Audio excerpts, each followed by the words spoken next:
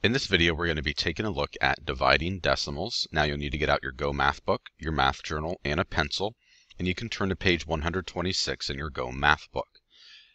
Now we're going to be taking a look at dividing decimals, and the essential question is, how do you divide decimals? Pretty obvious there, right? So we're going to take a look at dividing decimals by whole numbers. Now, again, whenever we're working with decimals, division does not mean it's any different at all.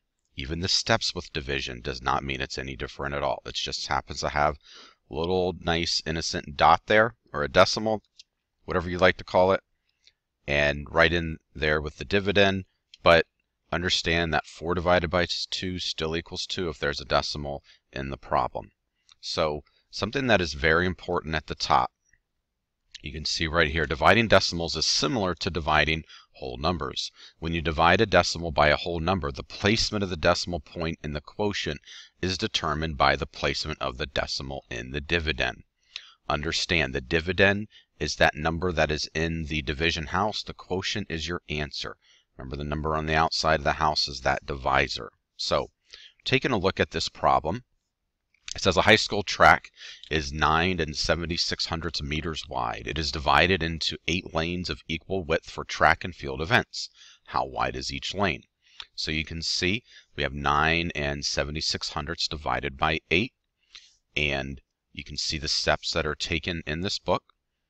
On, in your Go Math book on page 126, you can see the decimal point is just moved up in a division problem like this. It's kind of opposite with subtraction with decimals and adding with decimals, the decimals move down to the answer. This is moved up to the quotient.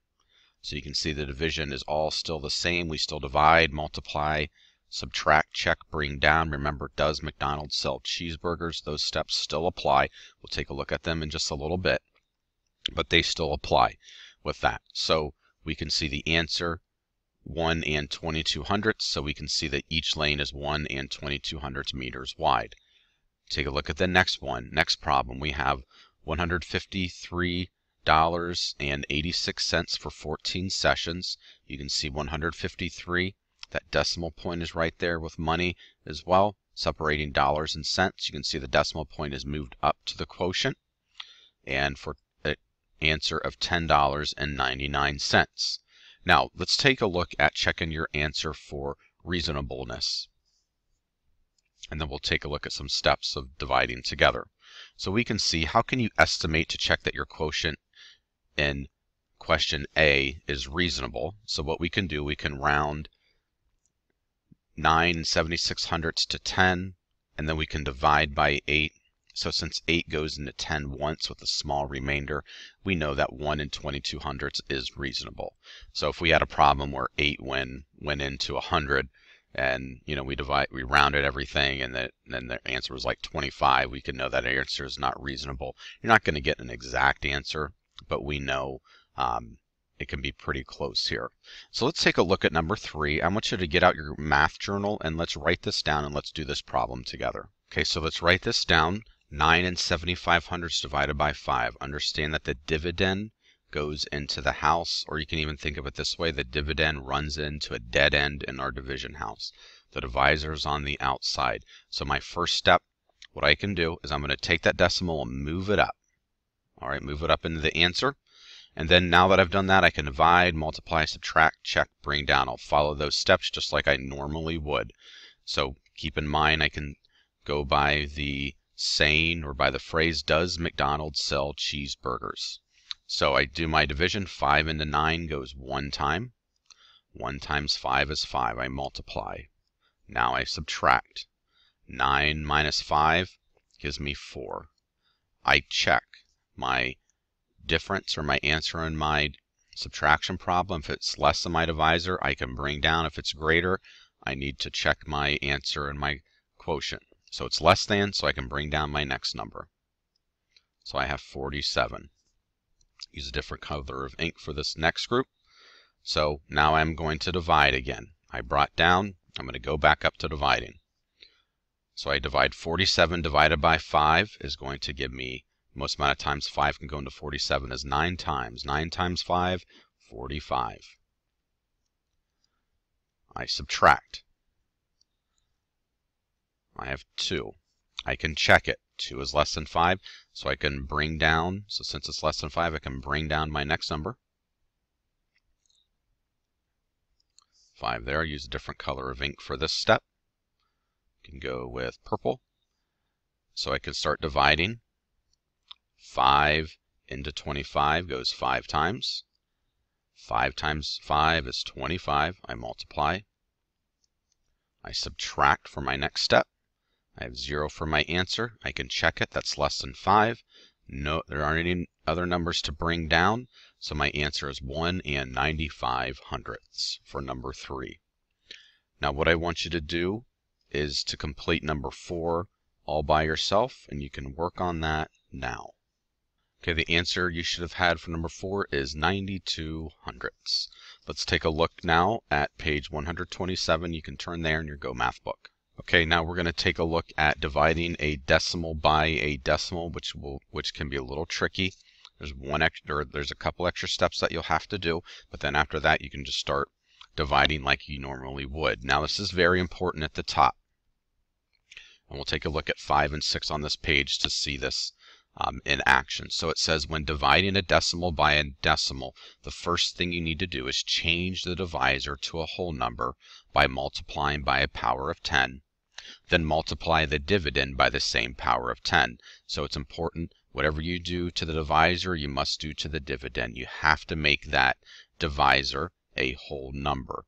And then whatever you do to that divisor to make it a whole number, you need to do to the dividend. So we can see however many places to the right you move that decimal for the divisor. Remember, that's multiplying by a power of 10. That's how many places to the right you have to move the decimal for your dividend as well. So if you have to move it two places in your divisor, you have to move it two places for your dividend. One place in your divisor to the right, one place in your div dividend. 87 places to the right in your divisor, the decimal moves. 87 places to the right in your dividend that it will move. So let's take a look at number 5. You can see some of those examples for A and B, but let's work on number 5 together. We'll do both 5 and 6 together in the video. So let's write out 4 and 25 hundredths divided by 5 tenths. So because this is a de decimal divided by a decimal, remember I have to multiply by, by a power of 10 to get this divisor to a whole number.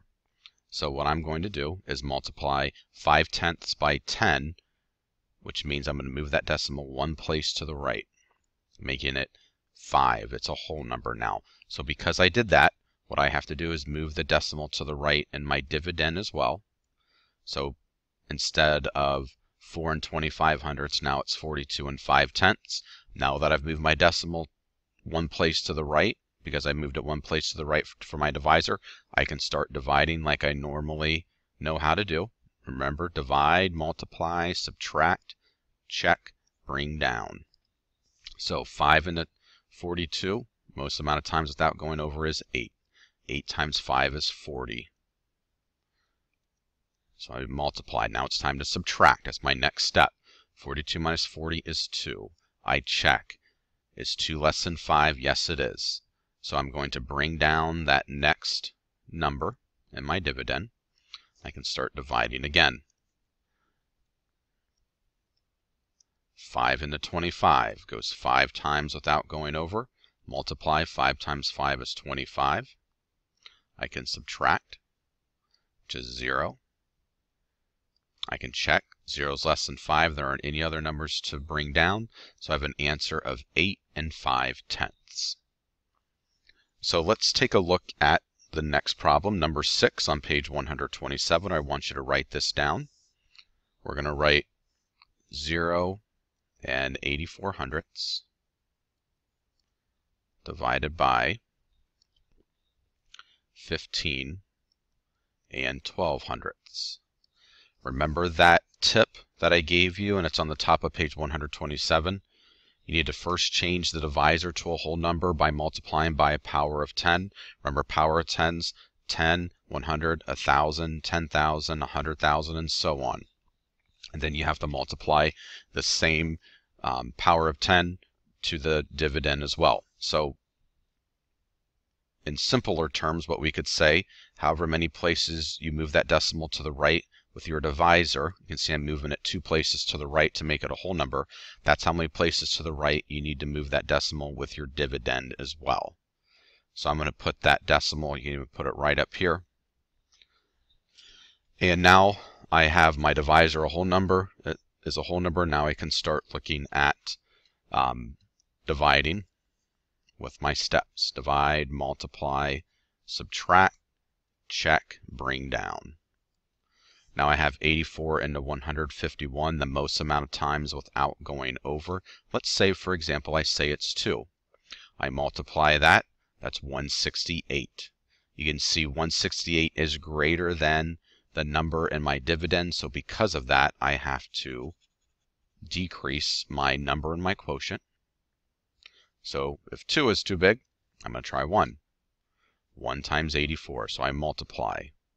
Remember the first number of your multiplication answer goes right in line with the number you put in your quotient. So I cannot take 4 away from 1. I need to regroup, change that 5 into a 4, and I can bring it over. 11 minus 4 is 7. And then I can see 14 minus 8 is 6. And remember, I want you to do this with me as well. So I've divided, I've multiplied, I've subtracted. Now it's time to check. 867 is less than 84. So because of that, we can bring down. All right, now we have 672. And we have the most amount of times 84 can go into 672. It's 8 times. Then we multiply 84 times 8, and that is 672. We can subtract. We don't have anything left over. You can see 0 is obviously less than, less than 84. We have a decimal there, but that's okay. Um, we still have our answer of 18. So what I want you to do is number 6 on your own, understand a problem like this, 23 and 85 hundredths divided by 9. That first number is the dividend, which goes into the division house. That second number is the, the divisor. So 23 and 85 hundredths divided by 9. You can work on that now. So you can see for number 6, our answer is 2 and 65 hundredths. Now what I would like you to do is work on number 7, and you can do that now. So for number 7, the answer is 33 and 16 hundredths. Now let's take a look at number 21, the essential check-in. When you are dividing two decimals, how can you check whether you have divided the decimals correctly. So just quick way to understand this, you can multiply the divisor by the quotient, and the product should match the dividend. So that's a way to just to check what you're doing. So this concludes the video on dividing decimals. If you have any questions about this concept, please come and see me.